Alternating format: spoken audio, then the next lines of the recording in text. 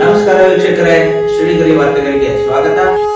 Mysuru April ಹದಿನಾಲ್ಕು ಸಂವಿಧಾನ ಶಿಲ್ಪಿ Bharat Ratna doctor B R Ambedkar ಅವರ ನೂರ ಮೂವತ್ತೆರಡನೇ ಜನ್ಮದಿನಾಚರಣೆಯ ಪ್ರಯುಕ್ತ ಮೈಸೂರಿನಲ್ಲಿ ನಡೆದ ವಿಶೇಷತೆಗಳು. ಇಂದು ಭಾರತದ ಸಂವಿಧಾನ ಶಿಲ್ಪಿ ಬಾಬಾ ಸಾಹೇಬ್ ಅಂಬೇಡ್ಕರ್ ಅವರ ನೂರ ಮೂವತ್ತೆರಡನೇ ಜನ್ಮದಿನಾಚರಣೆ ದೇಶ ವಿದೇಶಗಳಲ್ಲಿ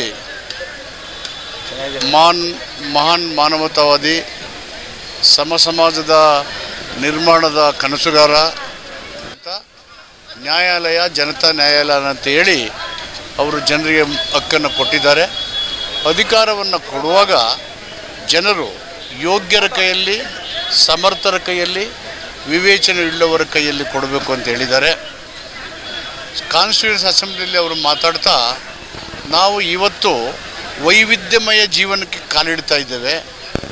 ಅನೇಕ ಧರ್ಮ ಮತ್ತು ಭಾಷೆಗಳನ್ನು ವೈವಿಧ್ಯದ ಜೀವನವನ್ನು ಇರತಕ್ಕಂಥ ಸಮುದಾಯಗಳನ್ನು ಒಟ್ಟಾಗಿ ಕರ್ಕೊಂಡು ಹೋಗ್ತಕ್ಕಂಥ ಈ ಸಂವಿಧಾನದ ಆಶಯ ಜಾರಿಯಾಗಲಿಕ್ಕೆ ನಾವು ಎಲ್ಲರೂ ಒಟ್ಟಾಗಿ ಶ್ರಮಿಸಬೇಕು.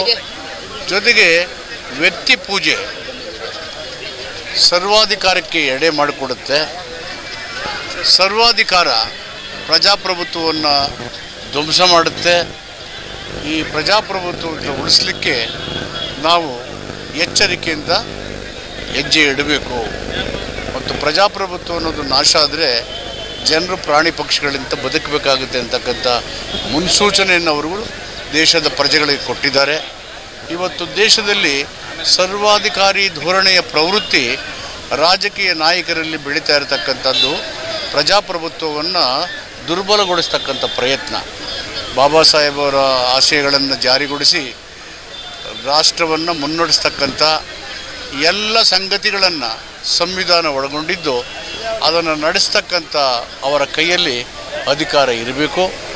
ನಿರ್ಣಾಯಕ ಸ್ಥಳಗಳಲ್ಲಿ ಸಂವಿಧಾನದ ಆಶಯಗಳನ್ನು ಜಾರಿ ಮಾಡುವತಕ್ಕಂಥ ಯೋಗ್ಯರ ಕೈಯಲ್ಲಿ ಅಧಿಕಾರ ಕೊಡಲಿಕ್ಕೆ ಜನರೇ ತೀರ್ಮಾನ ಮಾಡಿ, ಮುಕ್ತವಾದಂಥ, ಭ್ರಷ್ಟಾಚಾರ ರಹಿತವಾದಂಥ ಚುನಾವಣೆಯನ್ನು ನಡೆಸ್ಕೊಡ್ಲಿಕ್ಕೆ ಪ್ರಜೆಗಳು ಸಹಕರಿಸಿ ಪ್ರಜಾಪ್ರಭುತ್ವದ ಯಶಸ್ಸು ಮತ್ತು ದೇಶದ ಮುನ್ನಡೆಗೆ ಹೆಜ್ಜೆ ಇಡಬೇಕು ಅಂತ ಹೇಳಿ ಸಮಸ್ತ ಮತದಾರರಲ್ಲಿ ಬಾಬಾ ಸಾಹೇಬ್ ಅಂಬೇಡ್ಕರ್ ಜನ್ಮದಿನದಂದು ನಾನು ಮನವಿ ಮಾಡ್ತೇನೆ. ಮುಂದಿನ ವಾರ್ತೆಗರಿಯಲ್ಲಿ ಮತ್ತೊಮ್ಮೆ ಭೇಟಿಯಾಗೋಣ. ಶ್ರೀಗರಿ ನಿಮ್ಮ ಮನದಾಳದ ಗರಿ. ಶ್ರೀಗರಿ ನಿಮ್ಮ ಮನದಾಳದ ಗರಿ. ಶ್ರೀಗರಿ ನಿಮ್ಮ ಭಾವನೆಗಳ ಗರಿ. ಶ್ರೀಗರಿ ನಾಡಿನ ಹೆಮ್ಮೆಯ ಗರಿ.